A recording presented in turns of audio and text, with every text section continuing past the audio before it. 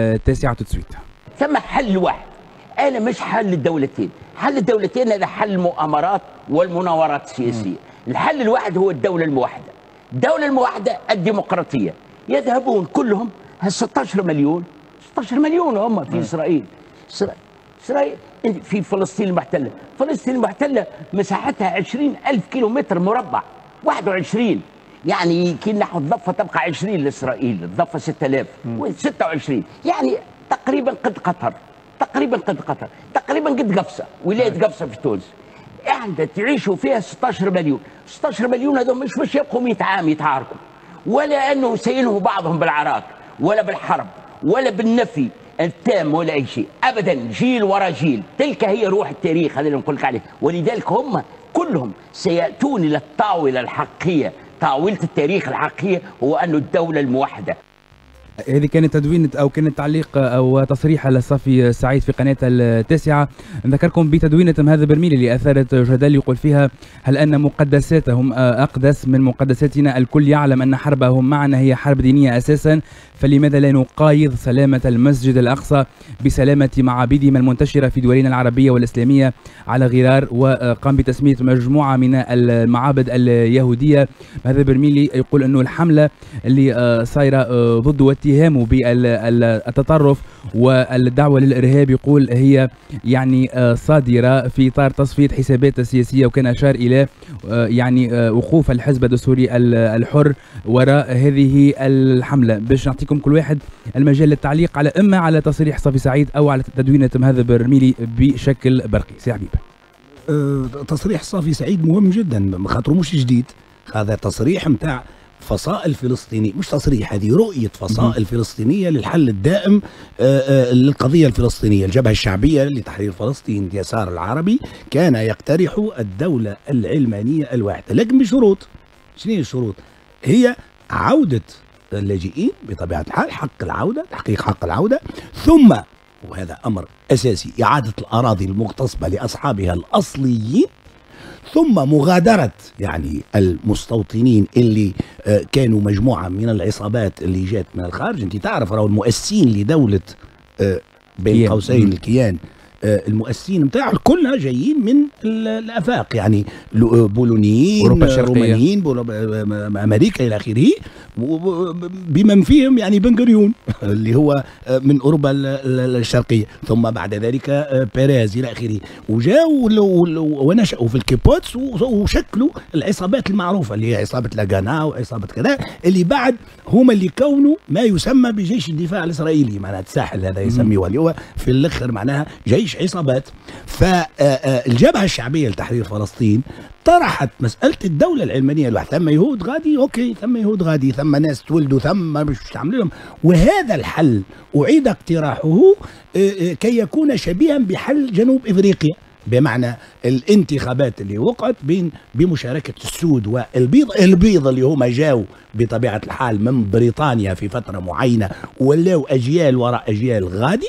ففي الآخر الحل اللي اختارته الأمم المتحدة هو أنه نعملوا انتخابات يشاركوا فيها السود والبيض. ونتذكروا معناها كيفاش مونديلا أصبح هو رئيس بعد 25 اللي قالوا صافي سعيد هو عودة لهذا التصور. لكن تقديري هذه الرؤية وهذا التصور الآن لم يعد له مكان لأنه صارت مستجدات جديدة. أولا إعلان يهودية الدولة وهذا موقف كان واضح.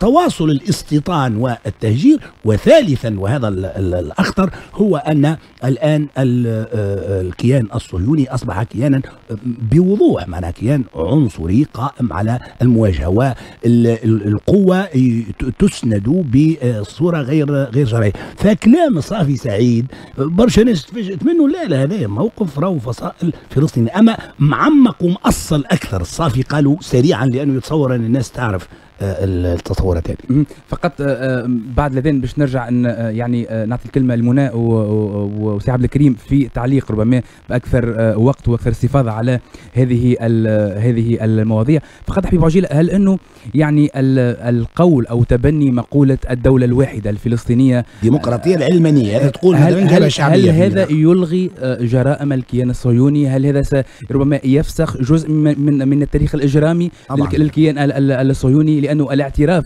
بوجود دولة إسرائيل بين معقفين يعني هو تقريبا يعني تبرئة وتبييض لما قام به هذا الكيان طيلة عقود. هذه هذه هذا حل قلت لك الآن أصبح في ذمة التاريخ هذا اولا.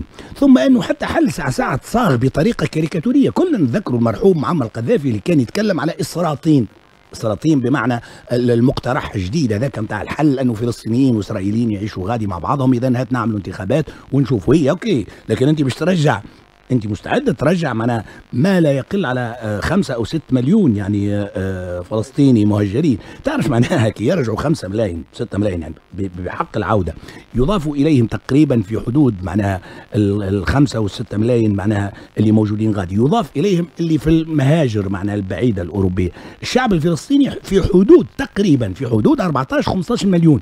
وبالتالي سيكون هناك ال- الإسرائيليين الأصليين معناها أقلية. تقريبا باش يكونوا أقلية. في حدود الأربعة ملايين.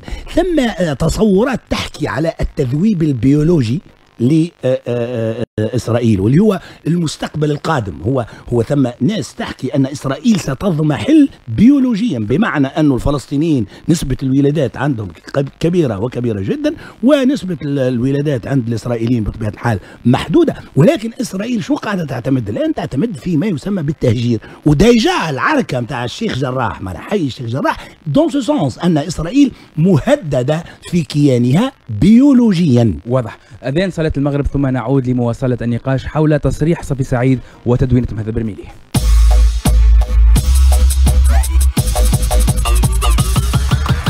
الليل يتكلم على ديوان FM على على ديوان FM اسهر مع كلام الليل كلمنا وفرغ قلبك وشاركنا غرامك. مع أبو البابا بن صالح في كلام الليل من الاثنين للاربعاء من التاسعة لل 11 متاع الليل. من التاسعة لل 11 متاع الليل على ديوان فام على ديوان فام مع بعضنا الدنيا تحلى.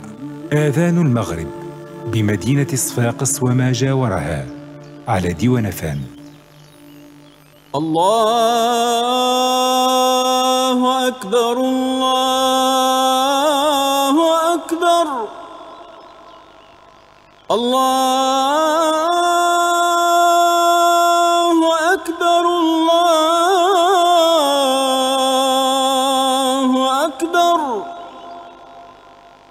أشهد أن لا إله إلا الله.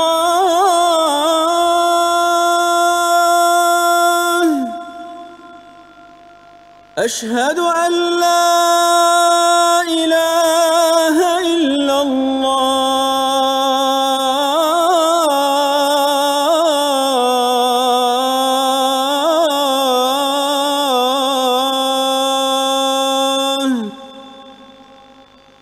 أشهد أن محمد رسول الله.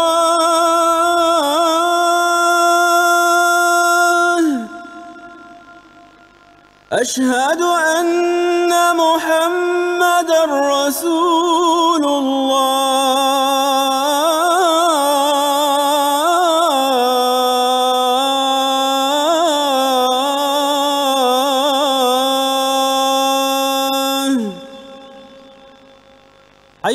الصلاة.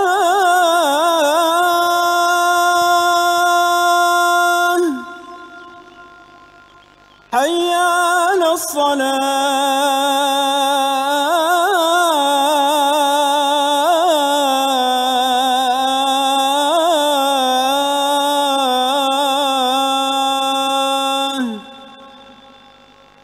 حي على الفلاح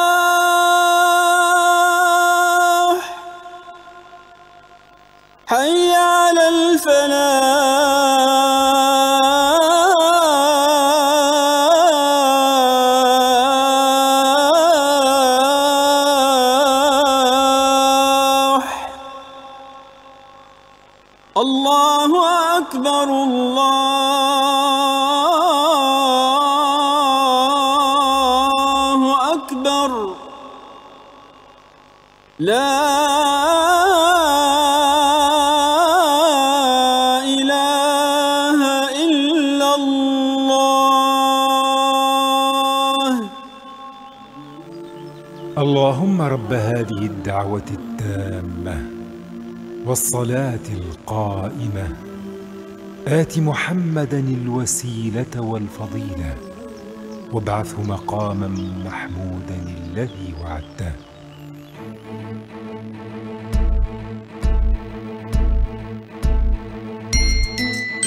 ديوان فام أحلى لفام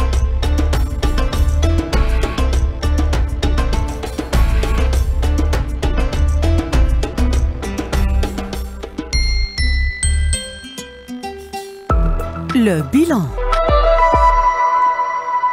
مرحبا بكم من جديد هذا برنامج لو بيلان رجعنا لكم في تعليق على آه، تصريح الصافي آه، سعيد حول آه، دولة موحدة تجمع الفلسطينيين والكيان ال- الصهيوني وتدوينة هذا برميل اللي أثارت آه، كثير من الجدل واللي دعا فيها إلى مقايضة آه، سلامة المسجد الأقصى بسلامة المعابد اليهودية المنتشرة في مختلف دول العالم. منى التعليق حر على التصريح وعلى تدوينها.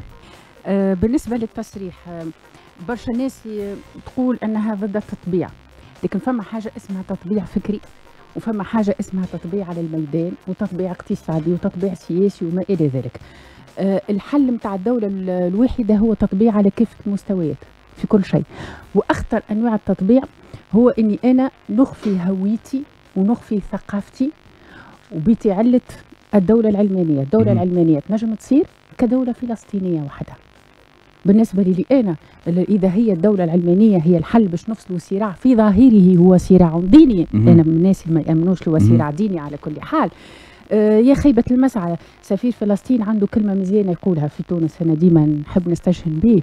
يقول إما أن نختفي أو نصنع المعجزات. في نظري أنا حل الدولة الواحدة هو حل الاختفاء. هو حل التعامل مع القضية الفلسطينية كقضية لاجئين. القضية الفلسطينية ليست قضية لاجئين بل هي قضية حق. أنا إنسان يسرقني في داري ويهجرني ويستعمل ضدي جميع الجرائم اللي تتخيلوها في ذهنكم ضد الإنسانية. وتعاونوا الشرعية ما بين الظفرين الدولية اللي هي في أتعس حالاتها في الحق الفلسطيني باش يستمر في هذا التهجير. بعد نقولوا أي نتسامحوا إجا نعملوا دولة واحدة و- وميسالش علمانية ونحاولوا بعد حل الانتخابات.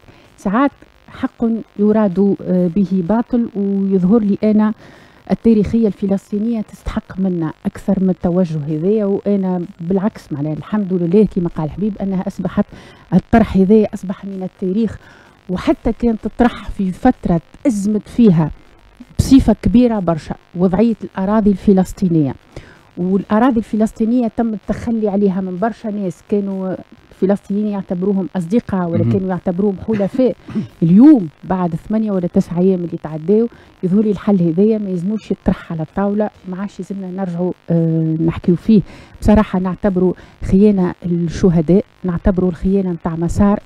سعد لكن في المقابل يقول لك منى شنو هو البديل؟ البديل مزيد من العدوان على فلسطين وعلى غزة، مزيد من الشهداء، مزيد من الدمار، مزيد من الصراع غير المتكافئ بين يعني كيان مدعوم من كل القوى الدولية تقريبا آه، وشعب أعزل محاصر آه، يعني يقول لك شنو البديل؟ البديل إنه تواصل مثل هذا الظلم مزيد من المقاومة. أنا ما نراهيش مزيد من القتل بالعكس نراها مزيد من المقاومة مزيد من حماية الهوية الفلسطينية مزيد من حماية التاريخية الفلسطينية. هذا حق آه، قلناها آمس جملة الجرندي آه، التاريخ آه، معناها الاحتلال يبقى احتلالا والحق يبقى حقا مهما طال الزمن. مانيش مع الحل الساهل برشا هذايا أنا. حتى ولو في وقت ما كان ينجم يكون مطروح. ما نعرفش علاش. اعتبرته في ذاتي في نفسي كي سمعته آه، شكل من أشكال آه، التطبيع صراحة. بالنسبة في كلمة لل تعليق سريعا في نفس وبعد الموضوع. نرجع لك على هذا برميلي. آه، شوف أنا مع منى اللي قالته فعلا إيه، خاطر ثم حاجات تصبح كاديوك معناها ما- عادش ما عادش عندها مكانة. علاش؟ ماضوية. آه وثم آه كل المؤشرات الآن تؤكد أن دولة إسرائيل ستضمحل. ستضمحل. تعرف شو هو؟ نعطيك زوز معطيات مهمين ومهمين جدا. اللي منتفضين اليوم في حيفا وفي آه، اللد وفي آه، المدن وعكا والمدن الفلسطينية المحتلة اللي عايشين فيها ما يسمى عرب ب- إسرائيل. لا هم يقول لك ما عاد تقولوا لناش عرب إسرائيل. إحنا عرب فلسطين 48 آه، اعتمدت إسرائيل آه، معناها ما يسمى بالأسرى لا. تعرف غرقتهم في المخدرات وغرقتهم في الأسلحة والأحياء نتاعهم تقريبا قعدت كيما نقولوا إحنا هذوك الكارتيه. نتاع نتاع ال- اللي موجودين في أوروبا وفي باريس وكذا معناها ما- ومع ذلك الآن نراهم هم الذين يقودون الانتفاضة. إسرائيل هنا أصيبت بال- البارح ال- والأيامات هذه. المحللين أصيبوا بالرعب. اعتبروها خسارة. هذا جيل كنا نتصور أننا أدمجناه وقضينا عليه. يعود الآن ويقول هذه أرضي وأنتم ال- ال- الدخلاء. هذا معطى مهم ومهم جدا. يعني حتى حل الدولتين نفسه اللي هو حل الشرعية الدولية دوكا. دوكا دو ما عادش مطروح تقريبا في هذه ال- ال- ال- ظرفية. البقعة. لأن يبدو أن هذا الكيان ما عنده حتى مقومات وجودية في هذه المنطقة. هو غريب عنها. يعني بكل المقاييس وبكل آه المعايير وبالتالي الحديث اليوم حتى على حل الدولتين مش الدولة الواحدة. وإسرائيل ونعمل انتخابات مع بعضنا وش نسميوها وكيفاش نسميوها هذا الكل ما فقد. واجهته اللي اللي أصبح اليوم ما- عادش مطروح أصلا هذه أرض لا يمكن أن تكون فيها هويتان ولا يمكن أن تكون فيها دولتان ولا يمكن أن يكون فيها في آخر الأمر إلا شعبها الأصلي وهو الشعب واضح. الفلسطيني تعليق منى على تدوينة هذا في, برميل في كلمة صغيرة ما نعرفش أنت أحمد ساعة شوية قلت تصفية حساب حسابات هو ذكر هذا في. في صفحته يقول آه، لأنه عنده موقف سابق هو من عبير موسي ومن السوري أي. الحر باهي أنا ما عنديش تصفية حسابات سياسيه مع سي مهذب آه، رميلي سي مهذب آه، رميلي فنان هو نجم الدراما التونسية في رمضان هذا معناها شوف فنان والفن راهو رسالة ومسؤولية قبل ما يكون حتى حاجة أخرى قبل ما يكون شهرة قبل ما أنا نكون كي نكتب تدوينة نعمل ما نعرفش قداش من كا ج'آم وقداش من partage يظهر لي أكثر من 10 800 وقت اللي أنا دخلت ريت التدوينة. التدوينة أهم. أي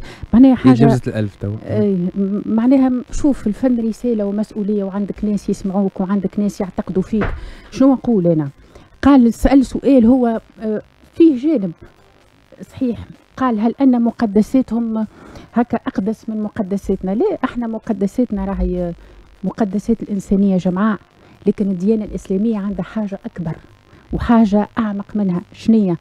الديانة الإسلامية تقول لك حتى كي تمشي في عهد الغزوات وفي عهد الحروب واللي تحب أنت يقول لك حتى كي تمشي لمكان معين أنت في في الغزوات وفي الفتوحات فما حاجات مقدسة ما تمسهاش. يقول لك الشجره ما تقطعهاش أنا اللي فهمته من التدوينه قلقني برشا صراحة خاصة أنه يصدر على فنان. وهذا. يبرر منى الهجمة اللي قاعدة تصير على مهذب رميلي علاش منى لأنه نجم يكون مهذب رميلي يعمل شيء هذا un excès de zèle معناتها ثم افراط في في الحماس فهمت؟ للقضية. بالضبط هذا يعني هذا. يبرر ربما الشكل الهجمة الع- الشعواء اللي قاعدة تصير على مهذب شوف، رميلي معناتها هو ما هو ال- ال- الشهرة والفن سلاح ذو حدين. يمكن لو كان قالها إنسان ناس ما تعرفوش برشا معناها تعديها أنت في ال fil d'actualité مم. نتاع فيسبوك كأنها لم تكن. الشهرة سلاح ذو حدين يمكن نواجه سي مهذب رميلي هذايا لكن الديانة متاعنا.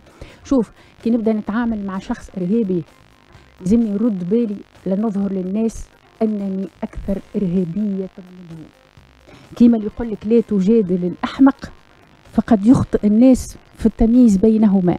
راهو نفس الوضعية هذه اللي مارس فيه ال- الاحتلال الصهيوني راهو ديما نعودها هو أشنع أنواع الإرهاب.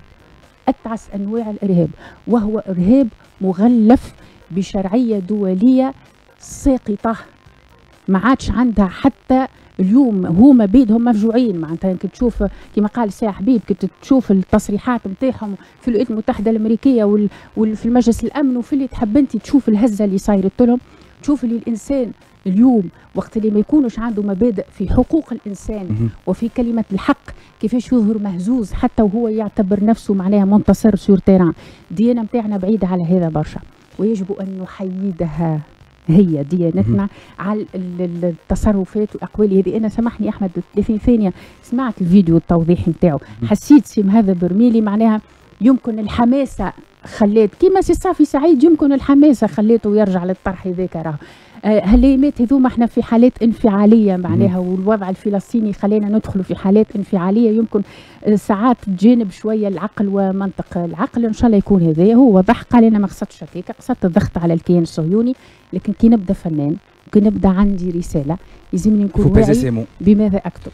أه سعد كريم نبدأ معك منين؟ أه آه، معناتها ختمه منى. أه اليوم مهذب رميلي كما قلت ربما إفراط في ال- ال- التعاطف مع القضية وتبني القضية لكن هذه كانت فرصة ربما هي يجب استغلال faut saisir le moment معناتها باش اليوم نفهموا الناس إنه مشكلتنا مش مع الدين اليهودية مش مع اليهود ك ك ك ك يعني كجزء من من من الإنسانية ومن البشرية ومع اليهودية كرسالة سماوية بل مع آه، يعني آه، استعمال اليهودية لبناء نظام سياسي اللي هو الصهيونيه العالمية وهذا هو مشكلنا الأساسي. يعني اليوم يجب التمييز في أذهان الناس بين شيئين بين اليهودية كديانة واليهود ك كأصدقاء وك يعني جزء من البشرية وبين الصهاينة والصهيونية.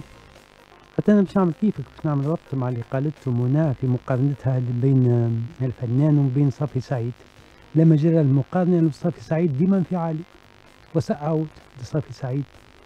حان ال- الوقت أني نبدي موقف صغير منه بكل تواضع. أنا بالنسبة لي أنا الفكرة الرئيسية اللي الإنسان يولي شخصيه عامه راهو الكلمة بحسابها أنا في تقديري الخاص اللي عمله الفنان المهذب هو إنسان أساء التعبير. يقول وإحنا بالمثل الدارج جاي يقول صح قال سدف. بمعناها زيد نطوروا العملية ونعطيوها أكثر من بعدها أما كفنان من واجبه باعتبار أنه ولا شخصية عامة حاز على لقب أفضل أفضل مسلسل في في ال- البرامج الرمضانية. معناها السنة مهم. إذا معناها إنسان عنده وزنه الفني هيك وين تتعاظم المسؤولية نتاعو ويعرف شو يقول. نرجع ل صافي سعيد. صافي سعيد. فرصة باش نقول أنه أنا من الشخصيات اللي نتقلق برشا كي نشوفهم. علاش نتقلق برشا كي نشوفهم. عنده بسم الله وما شاء الله على هيك الأناة المضخم. اللي هيك بالحق معناها لازم يعمل ضرب جوع على الأناة المضخم نتاعو هذاك لأشهر إذا كان ما يكونش لسنوات لأنه تحس بيه أنه هو المركز نتاع الثقل نتاع الحقيقة في العالم كله في كل المواضيع. أن هذا يقلقني. على الأقل ذكر الحكمة أنه الأمور التي تعرفها تعادل في حجمها حفنة الرمل التي في يدك. أما الأمور التي لا تعرفها تعادل في حجمها حجم الكون. آتي الآن إلى المقترح هذا. أنا عندي تساؤلات. هل رأيتم مغتصبا يرضى بأخذ نصف الغنيمة؟ وهل رأيتم مغتصبا يرضى بالتفريط في أصبع من يده؟ بالنسبة لنا الحل طبيعي ما عادش عنده حتى مكان على الواقع اللي تعيش فيه معناها المنطقة هذيك وبالنسبة لي أنا مستحيل هكا في تقديري المتواضع دائما مستحيل خاصة من جانب من جانب المقاومة الفلسطينية أن ترضى بحلول اللي تعتبرها حلول تكاد تكون طبيعية بعيدة عن الواقع. تو معقول أنت تجي معناها تفك لي داري وبعد تقول لي أين قسموها؟ معناها العقل البشري ما يقبلش مظالم من النوع هذايا وبالتالي أنا مع حبيب في أنه دينيا ولا إنسانيا. دينيا تم إقرار بأن الدولة هذه ستنتهي في يوم من الأيام. إنسانيا لكل شيء أو فكريا لكل شيء إذا- ما تم نقصانه فلا يغار بطيب العيش إنسان. وهي الأمور كما شاهدتها دول من سره زمن ساءته أزمان. بسرعة. آه، بسرعة باش نعدل فقط مع سي عبد الكريم في حكاية الصافي سعيد. أنا نعتبر الصافي ما قالش حاجة آه، آه، كيما نقولوا إحنا جديدة. مش جديدة يعني ما قالش. حاجة منكرة. سامحني بين أي. أنا علقت على كل ما يقولوا صار هاني باش نرجع لك حتى على كل ما يقولوا صافي. ما قالش حاجة منكرة هذه فكرة كما قلت لك مطروحه وطرحت من الداخل الفلسطيني. طرح- طرحت حتى مسألة ال- ال- الحل آه، على غرار جنوب إفريقيا كما عملوا في جنوب إفريقيا، جنوب إفريقيا البيض اغتصبوا أراضي الأحد وحطوهم في الحبس ومونديلا خرج بعد 25 عام من الحبس وقال لهم أنا لن أقتل معناها من والى اخره. وأنا معاك في أنه هذا حل أصبح الآن لا لا مجال بالنسبة للصافي مزاجه نحطوه على شيرة مزاجه وعناده وهذا إنسان يعتز بفكرته معناها. والصافي سعيد أنا أقدر. وقت اللي نشوف المشهد الإعلامي الحالي رجل يملك قدرة على أن يعرف. بصراحة معناها راجل يكتب ويقرأ وكذا. مش مش مش حكاية نقاش على صافي. لا. أما انصافا له. ما إحنا ما دام مش بدناه يلزم واحد يقول السلب وواحد يقول الإيجاب. أنا نعتبر صافي سعيد آه، من القلائل في من المثقفين. من القلائل اللي يحللوا سياسيا من قلائل الكتاب الصحفيين اللي يحلل سياسيا ويحلل استراتيجيا اليوم. اليوم راه voilà اليوم راه وضع المحللين سي عبد الكريم اللي تشوف فيهم توا في المشهد الإعلامي والكتاب وكذا صبعين وتلحق الطين. صافي سعيد معناها قدامهم يعتبر كي تسمعوا تلقى ما تحكي معاه وتلقى ما قلت كلمة هامة يا. حبيب أي قلت من القلائل من يعني القلائل ثم ناس اخرين موجودين بالضبط. هو يعتبر الآخرين في جميع في إيه، جميع كي يقعد. مع واحد ولا كي. يقعد مع واحد عنده قيمه. كي يقعد مع واحد عنده قيمة الصافي ت- تلاحظ أنه يحترمه معناها على كل أنا حال- أنا هذا اللي على كل حال قوس ويغلق حول الصافي سعيد وشخصية الصافي سعيد مثيره للجدل